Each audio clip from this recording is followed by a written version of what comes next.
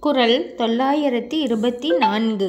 நான் என்னும் நல்லால் புறங்கொடுக்கும் கல் என்னும் பேனா பெருங்குற்றத்தார்க்கு. மது மயக்கம் எனும் வெறுக்கத்தக்க பெருங்குற்றத்திற்கு ஆளாகி இருப்போரின் முன்னால் நாணம் என்று சொல்லப்படும் நற்பண்பு நிற்காமல் ஓடிவிடும்.